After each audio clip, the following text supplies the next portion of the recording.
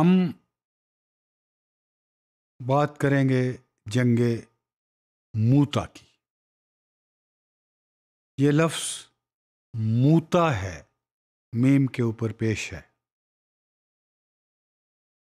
موتا میں یہ جنگ موتا ہوئی جمادی الاول، آٹھ ہجری میں۔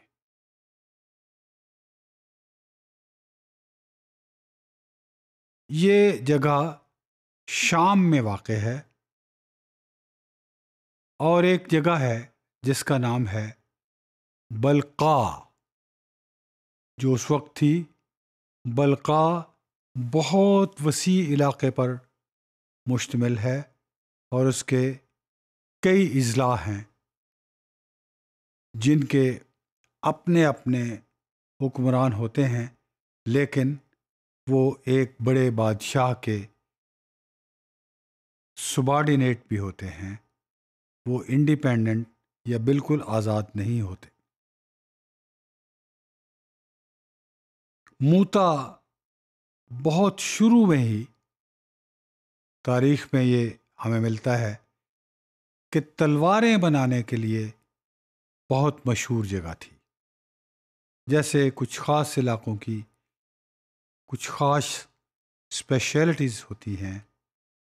موتا head specialty in making the swords and sword was the major and the main weapon during those days وہ اتنی مشہور تھی کہ اس وقت کے بہت سارے اچھے لکھنے والوں نے لٹریچر کے لوگوں نے، پوئٹری کے شاعری کے لوگوں نے ان تلواروں کا بڑے فخر سے ذکر کیا ہے اپنے کلام میں یا اپنی تحریروں میں کہ دنیا کی بہترین تلواریں موتا ہی میں تیار ہوتی ہیں۔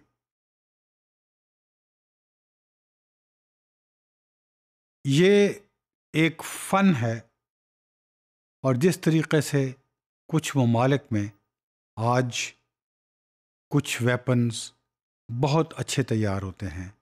کہیں رائفل بڑی اچھی بنتی ہے، کہیں گن بہت اچھی بنتی ہے، کہیں جہاز بہت اچھا بنتا ہے۔ اسی طرح اس وقت تلوار since it was the major weapon which was used in the battles And usually people used to keep it in their houses also for self protection. Therefore, it gained tremendous importance, and Muta took lead in preparing these swords.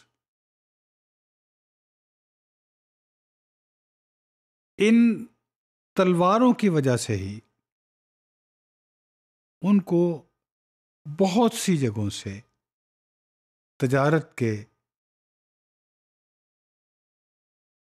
Trade packet جس کو ہم کہتے ہیں، وہ ملتے تھے اور ایک لحاظ سے ان کا یہ سورس آف انکم بھی تھا اور سورس آف ارننگ بھی تھا۔ یہ تلواریں جو ہیں، یہ وہاں سے جیسے کسی جگہ کی کوئی خاص چیز مشہور ہوتی ہے، اور تو ہم اپنے کسی دوست کو یا کسی اور فیملی کو جو باہر ہو وہاں سے، اس جگہ سے اس کو تحفہ تن بھیجتے ہیں۔ تو یہ تلواریں اس وقت تحفہ تن بھی اپنے دوستوں کو یا باہر رہنے والوں کو وہاں کے لوگ بھیجا کرتے تھے۔ And that's why the gained much more importance after that